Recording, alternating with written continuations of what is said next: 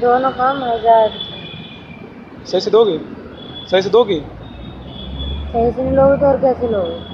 Hello दोस्तों स्वागत है आप सभी का टूर विद राकेश के इस फ्रेश एपिसोड में। दोस्तों आज की ये वीडियो एक ऐसे शहर के बारे में है जो कभी भारत की राजधानी हुआ करता था। ये शहर आज भी अमीरी और गरीबी के कई पार्ट्स में बटा हुआ है। जहाँ एक और इस शहर में करोड़पति रहते हैं तो वही दूसरी ओर उतने ही गरीब लोग। जहाँ की लड़कियाँ सिर्फ़ डेढ़ सौ रूपए में अपना को मजबूर होती है। ये है सोनागाछी। लोगों की भाषा में एरिया वीडियो में आगे बढ़ने से पहले अगर अभी तक आपने इस चैनल को सब्सक्राइब नहीं किया तो मेरी आपसे रिक्वेस्ट है कि आप इसे सब्सक्राइब कर लें। और आप इस वीडियो को कहाँ से देख रहे हैं, नीचे कमेंट में ज़रूर बताएँ। तो शुरू करते हैं आज के इस इंटरेस्टिंग एपिसोड को मेरे यानी आपके दोस्त राकेश प्रजापति के साथ।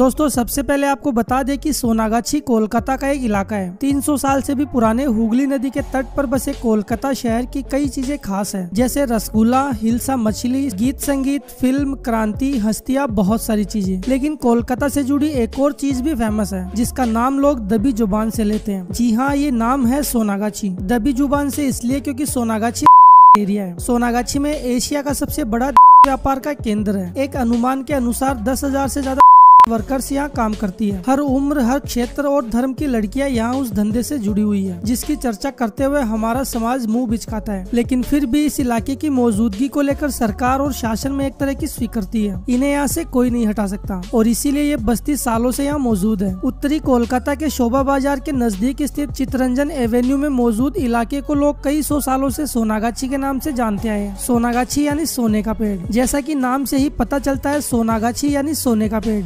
आखिरकार इस इलाके का नाम सोनागाछी कैसे पड़ा? तो क्या इस इलाके में सोने के पेड़ जैसा कुछ है? दरअसल ये कहा जाता है कि एशिया के सबसे बड़े का नाम एक मुस्लिम वली यानी संत के नाम पर पड़ा है। चलिए आपको फ्लैशबैक में लेकर चलते हैं। 300 साल पहले का समय। तब कलकत्ता नया नया बसा था। हुगली नदी के पूर्वी किनारे पर स्थित ये क्षेत्र व्यापार का फलता फूलता केंद्र था। इतिहासकार पीटी नायर की किताब A history of Calcutta street के हवाले से इंडियन एक्सप्रेस सोनागाछी की कहानी बताते हुए लिखता है कि इस इलाके में सनाउल्लाह नाम का एक खूंखार डकैत अपनी माँ के साथ रहा करता था। कुछ दिन बाद उस डकैत की मौत हो गई। एक दिन सनाउल्लाह की रोती हुई माँ ने अपनी झोपड़ी से एक आवाज़ सुनी। झोपड़ी से आवाज़ आ रही थी कि, माँ, तुम मत रो। मैं एक गाजी बन गया हूँ। इस तरह निकला सन्नाउल्ला से सोनागाजी का नाम। जल्दी ही ये बात आसपास फैलने लगी और उस झोपड़ी में लोग पहुँचने लगे और इबादत करने लगे। यहाँ आकर कथित रूप से लोग अपनी बीमारियों से चंगे होने लगे। कहते हैं कि लोगों को यहाँ रूहानी एहसास होता था। इसलिए नायर कहते हैं कि सन्नाउल्ला की माँ ने अपने बेटे की याद में यहाँ एक सुंदर मस्जिद बनवा दी। इसे सोनागाजी की मस्जिद के नाम से जाना जाने लगा। कुछ दिन बाद सन्नाउल्ला की माँ की मौत हो गई। इसके बाद इस मस्जिद की देखभाल करने वाला कोई नहीं रहा और धीरे धीरे लंबे कालखंड के बाद ये मस्जिद पूरी तरह से गायब हो गई। इस मस्जिद की वजह से पड़ोस के इलाकों का नाम मस्जिद बाड़ी पड़ा, जबकि सन्नाउल्ला गाजी बदलकर सोनागाजी हुआ और धीरे धीरे सोनागाछी हो गया। कैसे पनपा सोनागाछी में